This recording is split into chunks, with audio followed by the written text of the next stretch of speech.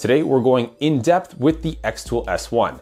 Now I was one of the lucky few who was sent the S1 pre-release and unlike some other people on YouTube, I decided to spend a lot more time with this machine to make a video with a ton of details instead of just publishing something right on the machine release date to take advantage of the YouTube algorithm. And for those of you not familiar with the S1, it's the latest laser engraver and cutter released by Xtool, which places a high priority on safety. So for example, we have this large laser safe viewing window right at the front, and it's got a door switch on it. So when you lift that up, the machine won't run, which will of course protect your eyes as well as your skin. It also features an array of flame detection sensors on the inside, and the machine is compatible with their ecosystem of other safety devices, such as their fire suppression set. Now, all of that safety does not come at the sacrifice of performance. This S1 is equipped with a 40 watt blue diode laser module, and those laser heads are interchangeable. So you can swap it out for their IR module as well as their 20 watt blue diode laser module. And the S1 also has other amazing features like dynamic autofocus, so you can engrave curved surfaces, and it's compatible with their conveyor feed system. And so I'll be walking you guys through the machine setup and taking you through all of the intricate details of getting the S1 working with the Xtool Creative Space software. I've got a ton of material examples for you guys, and as always, I share all of my machine settings for those materials. Plus, I've got some exclusive upgrades and accessories.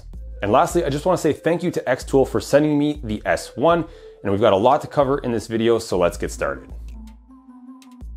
We'll begin with the unboxing with which Xtool never seems to disappoint, and the S1 is no different.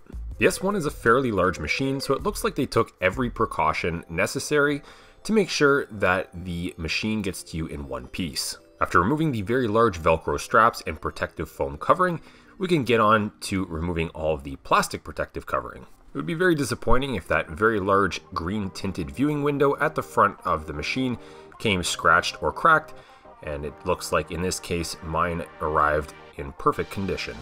Under the front window we get the beautifully branded and packaged Xtool instruction manual and material sample pack. And again the presentation here is excellent and all of the additional accessories are neatly and safely tucked away underneath inside of the machine frame. And so this is where you'll find the exhaust hose, an accessory box, a long skinny box holding the material support prisms, a bunch of extra foam where you'll find the power supply tucked away inside and the power supply cable as well as the 40 watt blue diode laser module head.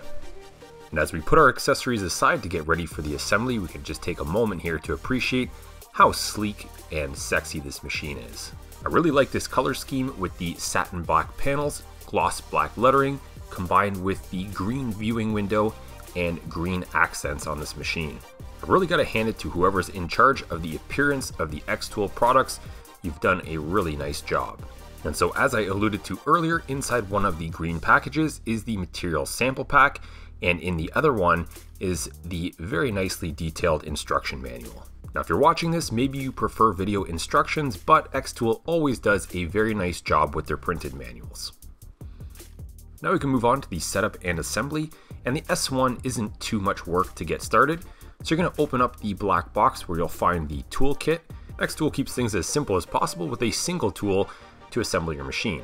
You'll see these yellow stickers here on the left and right hand side, and they're pointing to these small rubber bumpers, which keep the gantry from moving around while shipping. Each side, left and right, has two screws to be removed, and once you remove them, you can pull the entire gantry forwards. Then we can remove our laser module from the bag and on the left hand side, you'll find a connector receptacle, and we'll be connecting this to the dangling wiring harness on the left hand side of the carriage. Now the connector is keyed, so you can't put it in backwards, just insert it, and then take the air assist tube and put it over the fitting right beside that receptacle. At the back of the module, you'll find this standoff looking feature, and that's going to slot into the hole in the carriage. Line up the peg and the slotted hole push the laser module into the carriage and then push down. The module is on springs, so you'll likely compress the springs like I did there, but it should lock in place. And then from your hardware kit, you can use the two M3x8 socket head cap screws to secure the laser module. Now we can grab our focusing probe and it magnetically attaches to the side of the laser module. It does a nice job of self-locating, so you can put it on the side of the module and the magnets will take care of the rest. Now at the back of the machine, there is this vent, and it's got four M3x8 socket head cap screws holding it in place. Unless you're using your S1 outside, you're likely going to want to use a hose to relocate the smoke and fumes out of your workspace. Now obviously the 3 inch hose from Xtool will fit directly on the back, but I also make an adapter to fit the more common 4 inch dryer duct style hose. You can find this adapter on my website embracemaking.com and the reason that I would personally go with the 4 inch hose is that it comes in very long lengths at a pretty affordable price and if your window or door that you're routing your exhaust out of is a very long distance away, you can use one of those 4 inch inline duct fans. I'll put a link to one of those in the video description down below to pull the smoke and fumes through many feet of that 4 inch hose. Now if you don't have a window or door nearby, a good solution here is to use the Xtool hose and hook it up to their fume and smoke purifier. This one is their larger floor mounted model and maybe I was just missing something but I couldn't get the S1 hose to hook up to any of the adapters. And so again, I made my own and of course I'll make it available to you on my website. And at the back of the smoke and fume purifier, there is an exhaust port and even though the air coming out of that would be filtered, some of you may have a very sensitive nose and you may want to route that outside of a window or door, so I have a 3 inch to 4 inch hose adapter for that as well. You can find links to everything I just described in the video description down below. While we're at the back of the S1, you can find the other various connectors and ports, as well as the power switch. Now the bottom USB port is for the key, and you can think of this like a lockout switch, the machine won't run without it. Above that is the input power, and between the USB key and the input power is your USB connection to your computer. Xtool includes a USB-C cable with a right angle connector, which is quite nice because it routes it out to the side of the machine and then of course you can place your computer or laptop beside your S1. On the right hand side are the push fit connectors for the air assist, which is on the top, and the fire safety set, which is on the bottom. They made the ports different sizes so you can't mix up the two, but the hoses are the same size and adapter doesn't seem to be included. So for now, I'm not gonna hook up the fire safety set, and on the top port, I'm gonna hook up the air assist. Inside your workspace, you can support your work pieces with these Prism material risers, which are included with the machine, and you can just set them down on the bottom of the S1 and then place your workpiece on top. Lifting your material is good practice for through cuts, and those prisms kind of just sit there, but I do have a good solution for arranging them if you keep watching later in the upgrade section of this video. Now if you bought the S1 and you got yourself the basic kit, it includes the air assist as well as this honeycomb panel. After placing it inside of the machine, you'll want to push it all the way to the right and to the back.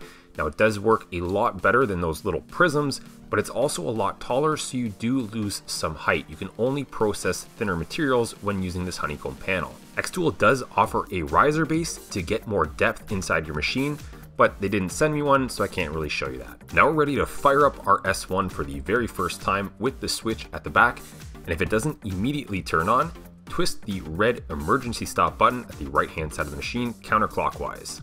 The lights should turn on, the laser head will move, and the button at the front of the machine will illuminate. Anytime I test a new machine, I like to start with a very simple wood engraving, so we're going to be using one of these basswood sheets that comes in the material sample kit. Now the S1 is compatible with Lightburn, but I will be using the Xtool Creative Space software I find it easier to use, plus they're constantly updating it, and we are, after all, testing an Xtool product, so we might as well use their software. And the first time you connect it to the S1, you'll probably be prompted to update the firmware. This can take a few minutes, so be very patient. Do not turn off the machine during this process, even if it looks like nothing is happening.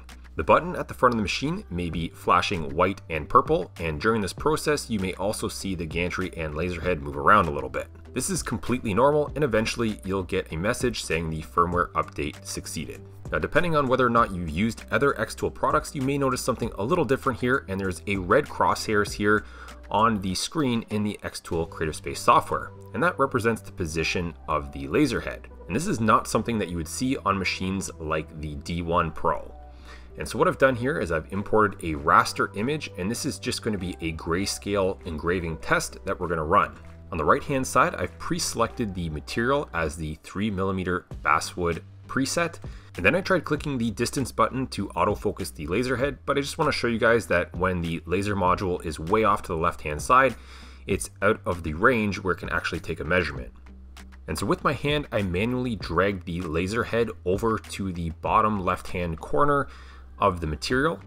And you can see the red crosshairs moving there. And then in Xtool Creative Space, if I go ahead and click the distance measurement button, the S1 will then probe that point on the material and focus the laser to the top of that surface. After the S1 probes a surface, it's normal for the laser head to travel to the back of the machine to reset the probe. Now the next thing we can do is tell the software where our material is and how big it is using the two-point positioning system. So on the right hand side, there's a button that says Start Marking. We're going to click that, and this will bring up a screen that's going to give us some basic instructions on how to mark our material. It first wants us to line up the laser crosshairs with the top left-hand corner of our material. And now you don't have to go right to the edge of the material if you don't want to. You can place the laser crosshairs somewhere on the inside of your material. And in this case, I'm going to do that because I don't want a laser over top of those magnetic material hold down clips that I'm using on the honeycomb bed. And so I'll go ahead and position the crosshairs close but not over top of those clips. And I'll press the button on the front of the machine. And in the software, you'll see that that point has now been recorded. Now we need to move the crosshairs to the bottom right hand corner of the material, or at least the space that we want to laser within. Again, I'm not going to go right to the bottom of the material, I'll get close to that clip, but I won't go over top of it. Once I'm happy with that position, I'll press the button, which is lit up blue on the front of the machine, and the software will record that second point, and then we can go ahead and click the Done button. And once we click the done button, you'll see a green bounding box show up on the workspace here in Xtool Creative Space. And this is now where you can drag and resize your image to fit inside of that green box. Once you're happy with the size and position, you can click the framing button in the bottom right hand corner of the screen. And then when you're ready, you press the button on the front of the Xtool S1 and the laser crosshairs will frame the position of exactly where you've put that image. You may also notice that during framing, the laser module moves up and down in the Z axis as well. Now that we're finished framing, if you click on the image, you can adjust some of the power and speed settings. And so I'm gonna bump up the power to 30% and I'm gonna leave the speed at 200 millimeters per second. And I'm gonna leave this in grayscale mode. Now the reason I'm increasing the power from the Xtool presets is that I've already done one or two engravings on this machine and they looked a little washed out and too light for my liking, so by increasing the power, we'll get a bit of a darker engraving. I've said this in some of my other videos, but don't be afraid to deviate from some of the Xtool reference settings. Some of them are spot on, while others are actually way off. Now in order to start the job, we still have to press start at the top right hand corner of the screen and don't forget to close the lid on the S1 because it does have a safety switch on the lid. And so if you don't close it, you end up with an error warning you that the front lid is open. From what I understand, the S in S1 stands for safety. And so if you're going to be using this machine without safety glasses, they want to make sure that that front lid is closed while the laser is activated. Based on the packages available on the Xtool website, it looks like I was sent the basic kit, which included that honeycomb bed, as well as the Xtool Air Assist. This is a smart Air Assist module, which connects to the S1 with a USB cable at the back of the machine, and in the auto mode, it allows the controller on the S1 to modulate the Air Assist according to the job being processed. For this engraving job, I'll put the Air Assist in auto mode, and I'll clear that error from the lid I'll restart the job, press the button on the front of the S1, and the engraving process will start. This job took roughly 14 minutes at 200 millimeters per second. Now the machine can go faster, and if I had set it to a faster speed, I would have increased the power a little more. But at this point, I'm not looking to test the speed. I'm more interested in the range of light to dark, and that's why I have this grayscale test here. And so when I flip the board over, that was the Xtool preset at 25%, which I thought was a bit too light. And so on this side is the 30% power at 200 millimeters per second, which I was much happier with.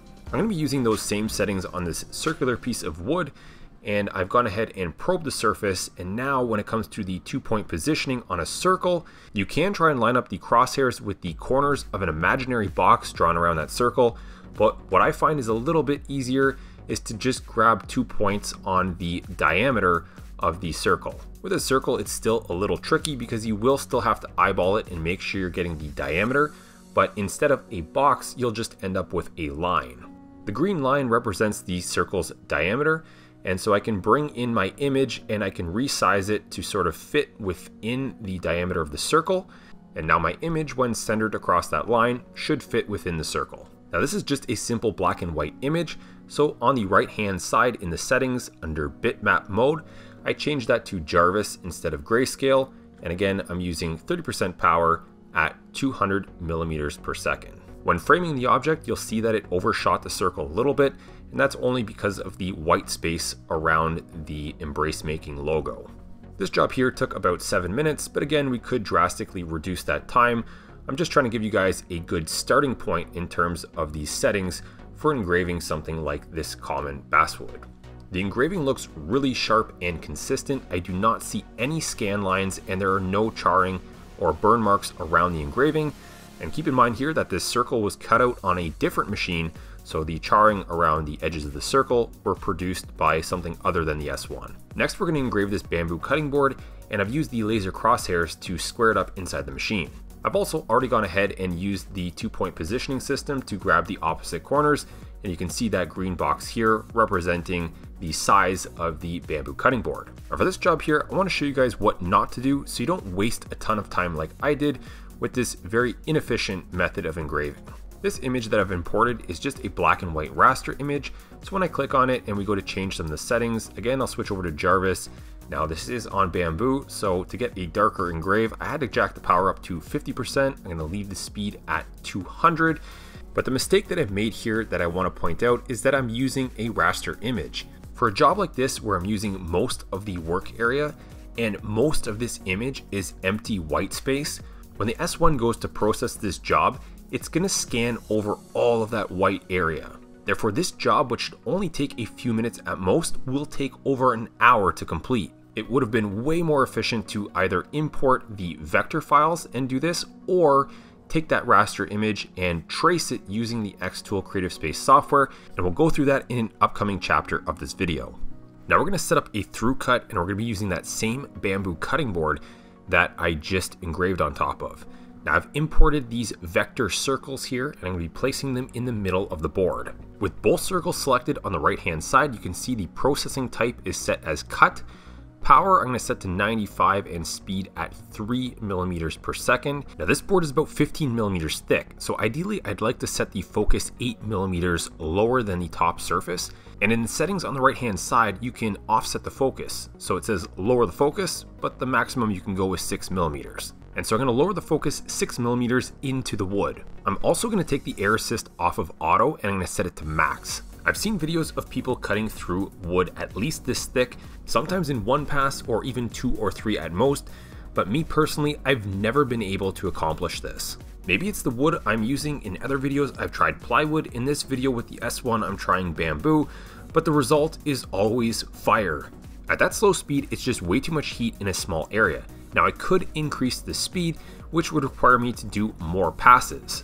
And that approach worked for me on the 40 watt module on the D1 Pro, but quite frankly, I just don't have the patience to do 10 to 15 passes to get through a piece of wood. There are much more efficient ways to cut through wood. And so while it is possible, it just doesn't seem like the most efficient way to cut through thick work pieces. That being said, I'm always open to learning something new, so if you guys have any suggestions for me, or if I'm just using the wrong materials for this, please let me know in the comments section down below. Now cutting through thinner materials is a lot less tricky.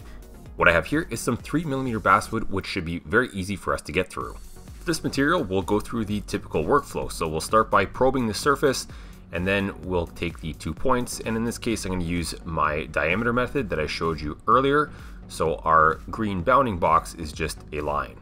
Now I've got my raster image that I've imported and I'm going to use the trace function in order to get a vector outline. It might be a little difficult to see, but the blue vector outline is selected, and I've selected cut as the processing type. and in the material selection, I've selected 3mm basswood.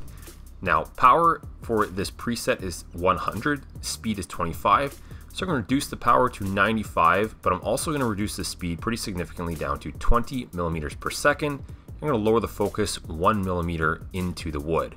Ideally, I would have liked to have selected 1.5 millimeters, but it only seems to allow me to put in whole numbers. Now when I click on process in the preview window, I still see the black section of the raster image, so this doesn't seem right. And so you can see if I click on the white area, the raster image is still visible. So even though I've traced it, it didn't get rid of that. So I've clicked on the raster image, I've clicked on ignore, and now when I go to process, it's just the outline. And this is exactly what I'm looking for because I'm looking to cut out the logo and not engrave it. Now usually when you get a nice clean cut and you go to pick up your workpiece, all of the inner parts fall out. And if you look at the back of this piece, you can still see that these inner parts are still connected. Now if I press on some of them, some of them will come out pretty easy, but other ones will get stuck and leave a nasty tear out. So what I've done is I've brought in the original piece here that we engraved in the previous chapter of this video.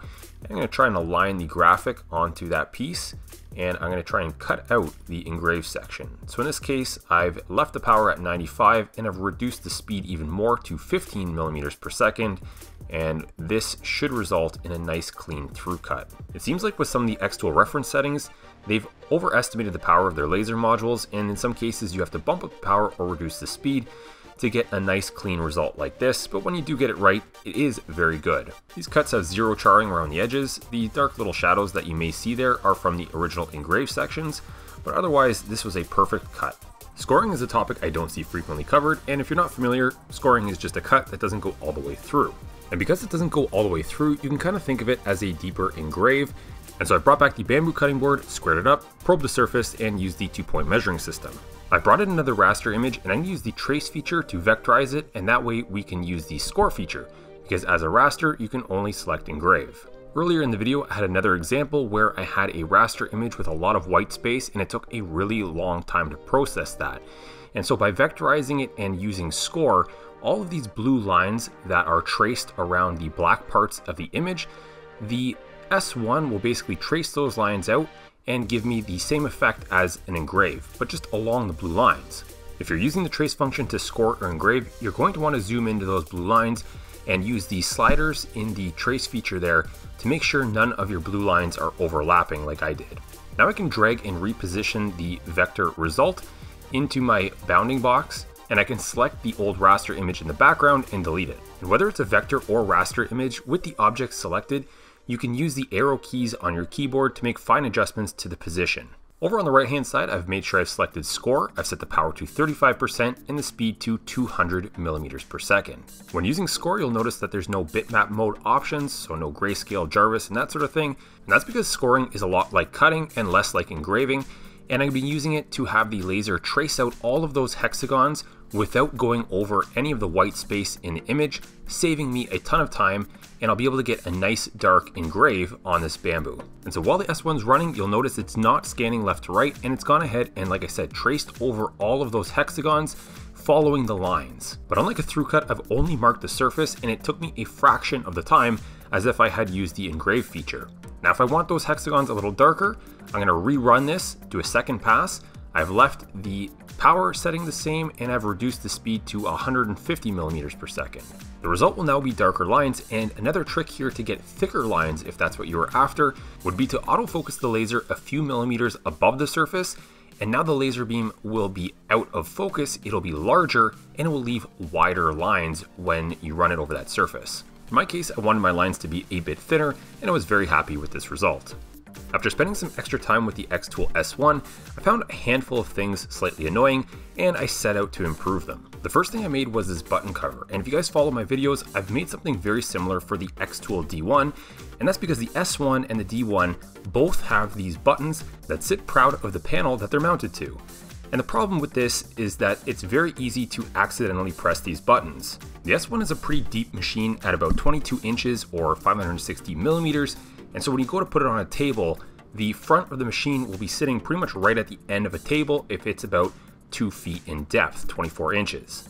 And so I can't tell you how many times my leg or hip has accidentally pressed that button while I've been adjusting things inside of the machine. On the D1 Pro, the button is on the top of the frame, and you could actually accidentally start the laser with your hands in the machine. On the S1, the laser won't start with the lid up, so at least it's not a safety concern, but it is really annoying because it will throw the machine into error, and then you have to reset it before you start your job again. You can find the cover on my website, embracemaking.com, and it attaches with some double-sided tape, which is included with the cover. And the nice thing about the cover is that it does not block the LED ring light inside, so you can still see those colors very clearly.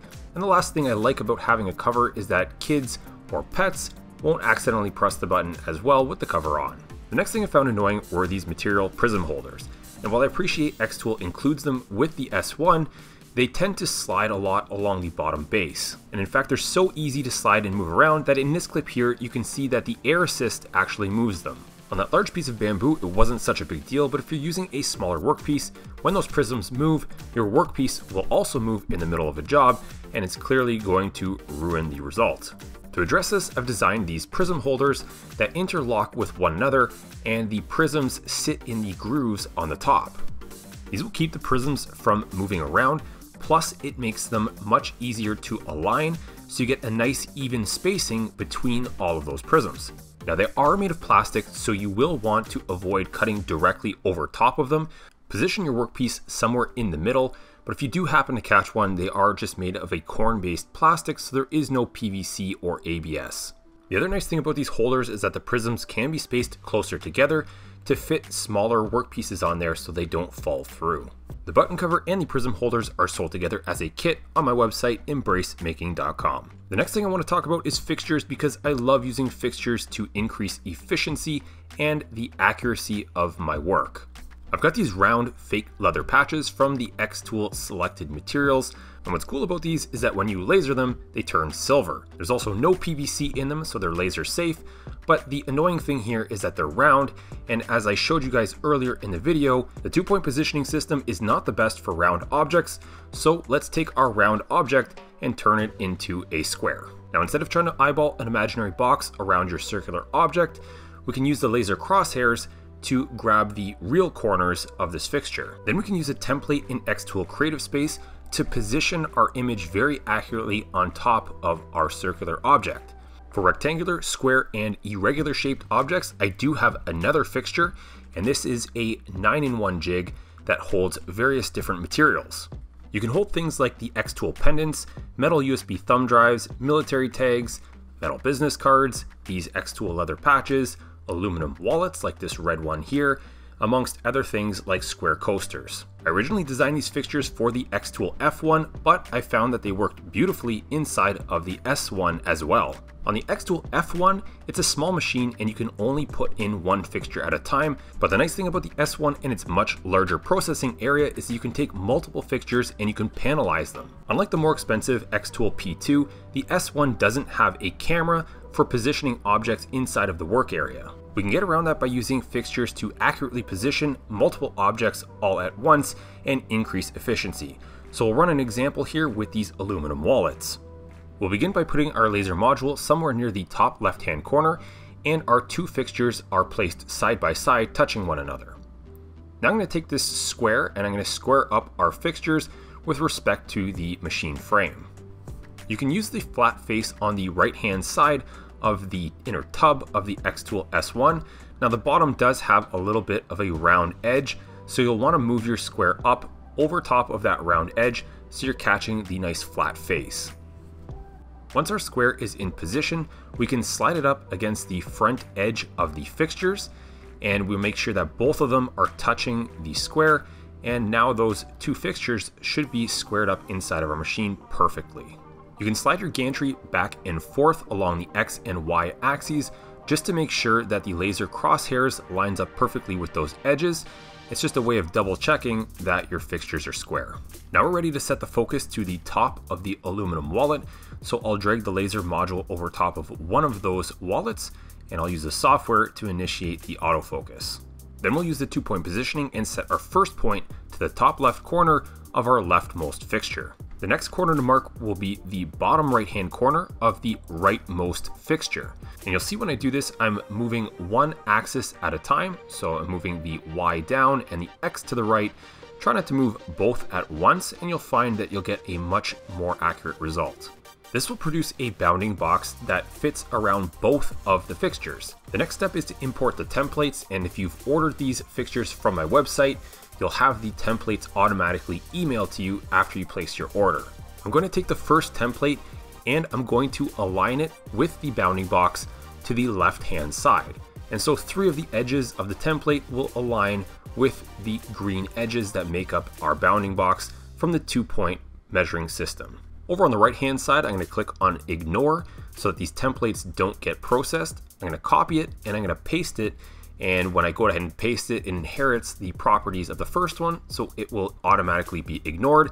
And now I'm gonna align the second template with the right top and bottom edges of the two point positioning. And just a reminder, you can use the arrow keys on your keyboard to make fine adjustments to the position of those templates. And now our templates on our screen represent our fixtures in physical space inside of the machine.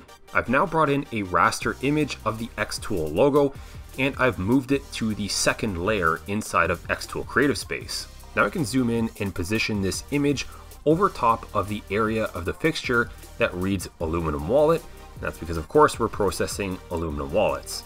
I'm using the arrow keys on the keyboard to slightly nudge the position of the logo around, and then on the right hand side you can see it's already set to engrave. I'm going to set the power to 13%, I'm going to leave the speed at 80 millimeters per second, I'm to save this setting as aluminum wallet.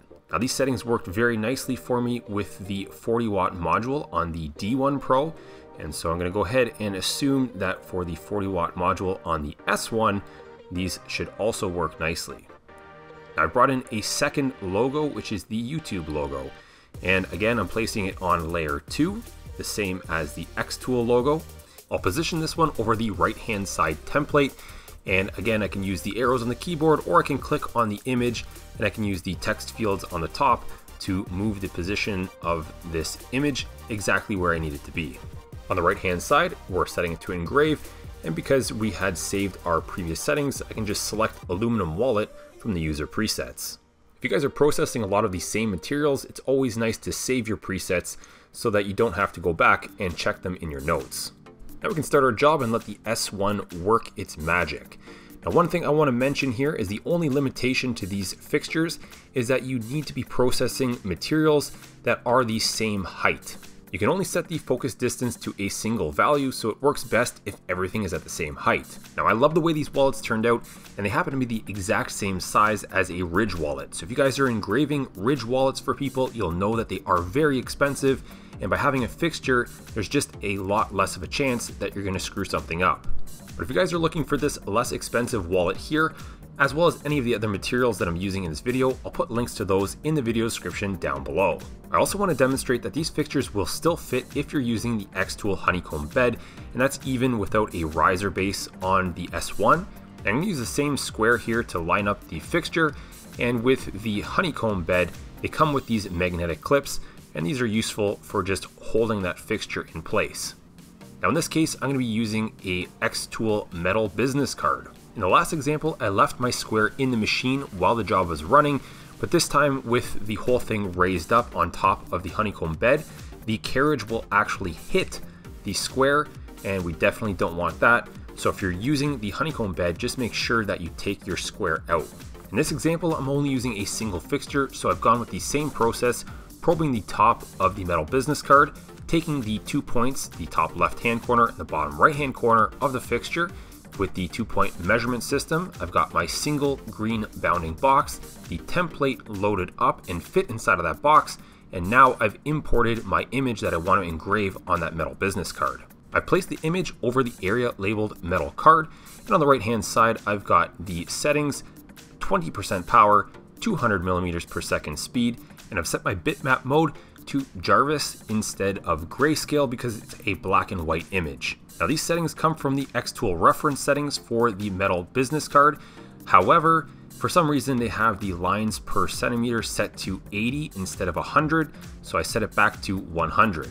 This will prevent those horizontal lines from appearing that you just saw in the first preview, and when we go to hit process again, the second preview should look better. When processing this job, you'll notice the metal business card moving around here, and the job got ruined by the air assist. So the air assist was on auto, which turns out to be a little too strong. I just set it to off for this job, and now that very light metal business card is not getting blown around.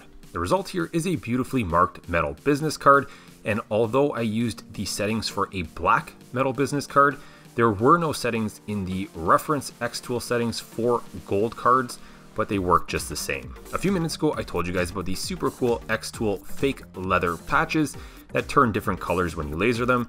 So this one here is a brown leather patch that turns gold when you laser it. Since I haven't moved my fixture from the last job, I don't need to redo the two point measurement system. All I need to do is probe the surface to get the right focus height for this patch. Now I can bring in the design with this very recognizable pattern that I think will look stunning in brown and gold. I'm going to position it over the area labeled 2x3 patch. And for this, I'm going to dive into the Xtool reference settings and I'm going to select brown to gold laser patch. On the right hand side, like I've done with many of the other examples, I'm going to change from grayscale to Jarvis, and that's because I have this black and white image. I also just want to point out here that on the template, you'll see other measurements like 1mm, 2mm, and so forth, and those are for the Xtool F1, so on the S1, you can just ignore those measurements. In this case here, the Xtool reference settings were absolutely perfect for these brown leather patches. In my videos, I like to have fun with recognizable logos, but I always point out that I'm not in the business of selling these, and I would recommend that you don't do that either. Selling things with copyrighted or trademark logos that you don't have the appropriate license to do so can land you in some legal trouble, so try and avoid that. Now I'll run an example with the round fixture, and I've got this black fake leather patch, and rather than using the two point positioning across the diameter like I showed you guys earlier in the video, the fixture will give us a much more accurate result. And just like the multi-fixture, I'm going to use the square to line this one up in the exact same manner. I'm going to drop in the patch, probe the surface of this patch to get the autofocus height, and then use the top left and bottom right hand corner for the two point positioning system. The circular fixture has its own template, which again will be included if you purchase these from my website and we're going to import that into the project and position it in the exact same way within the green bounding box created by the two-point measurement system. Never resize the template if your two-point measurement is slightly off like mine is here. Just center the template inside of that green box. Do not resize it.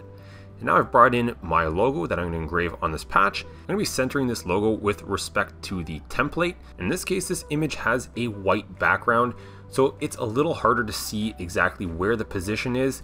When working with the circular template, it's a lot easier if you bring in images with transparent backgrounds, but it's still easy enough to position right in the middle.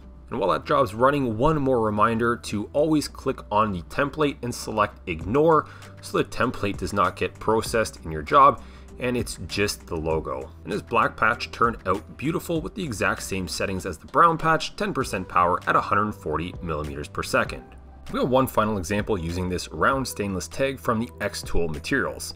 And again, it's set up inside of the circular fixture. I'll skip over the fixture and template setup since we've already gone through a bunch of examples. And I'll skip to the part here where I import this logo, and this time it's a vector image. It's obvious with a transparent background, it's much easier to see where we're positioning the graphic with respect to the template, and because it's a vector file, I can select the text object and delete it because I don't want it. Over on the right hand side under material, we'll select more, and we'll find the stainless steel dog tag setting in the Xtool reference material settings. In the bottom left hand corner, you can see that we have two layers right now, and if I select the layer in the back, which is the template, we'll make sure it's set to ignore, and if I select layer 2 in the foreground, we'll have it set to output. I'll change the bitmap mode to Jarvis again because it's a black and white image. After that, it's just a matter of clicking process and the job is done in a few seconds because the tag is so small.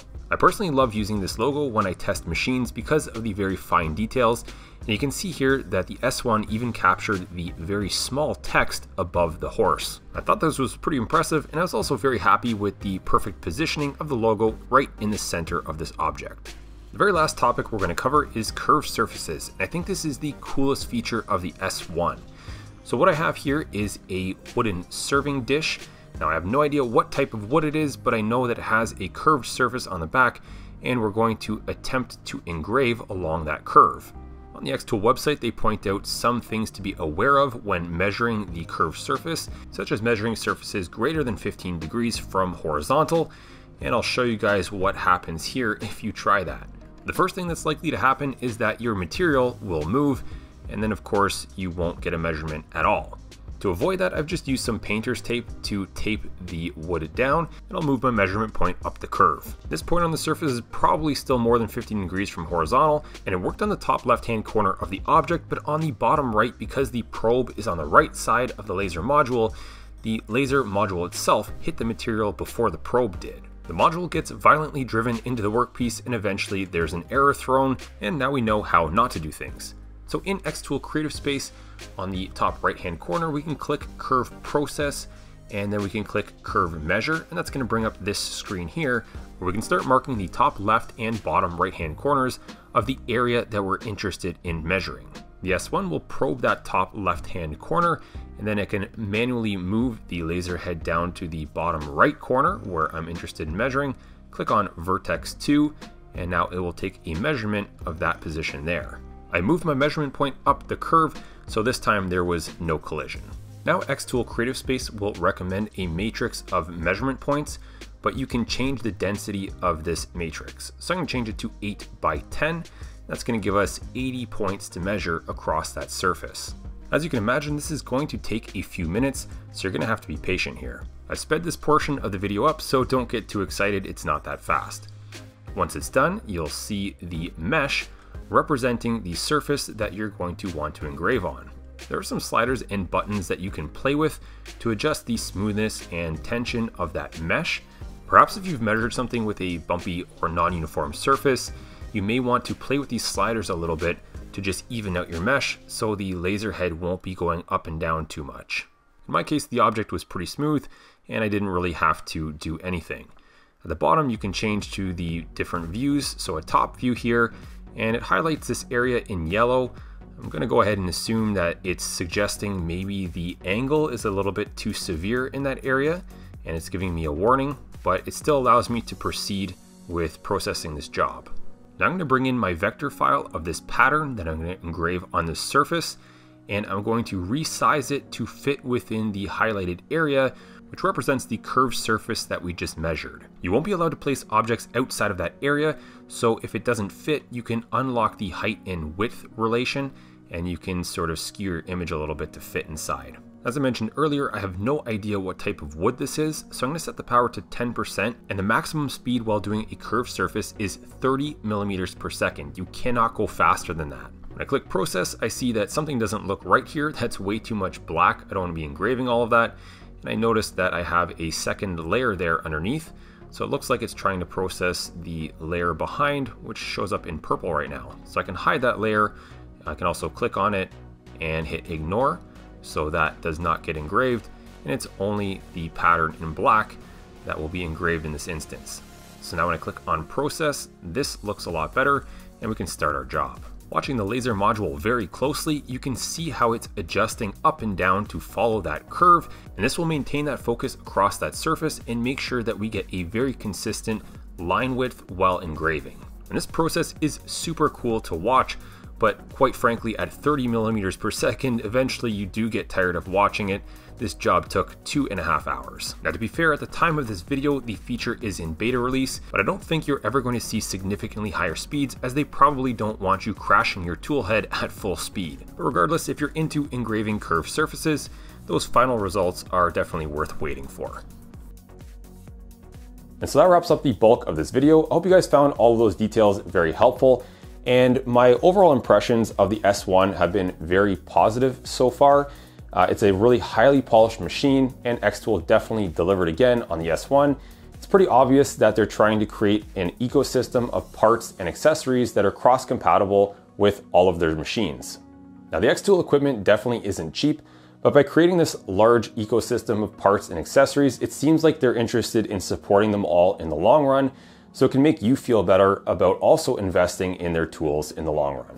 In terms of things the S1 is lacking, it doesn't have a camera like the more expensive P2. Now, in lieu of the camera, it uses that two point positioning system, which works really well in most cases. It's a little more challenging for round and circular objects, but I also showed you guys how to work around that.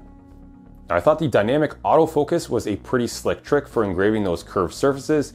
In the future, I'm definitely gonna try and find more applications for that.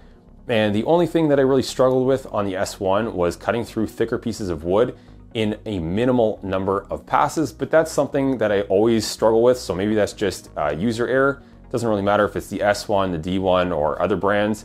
I just can't seem to get through wood in only a few passes without setting it on fire. I also really like the fully enclosed design. It makes you feel so much better about using this machine when other people are around. You don't have to worry about blinding them. Plus the enclosure makes sucking smoke and fumes out so much easier than obviously an open frame machine. And the only downside to the enclosure though is that it's pretty shallow, so you'd have to buy their riser kit if you wanna fit objects in with a greater depth. And so that's it. Let me know about your first impressions about the Xtool S1 down in the comment section below. And if you guys appreciate these very in-depth videos, be sure to subscribe. And if you're looking to support me and my work, check out my website, embracemaking.com, where you'll find all of those exclusive upgrades and accessories for the S1, as well as many other laser cutters and engravers that I've shown you guys throughout all of my videos. Thanks for watching, and thank you again to Xtool for sending me the S1.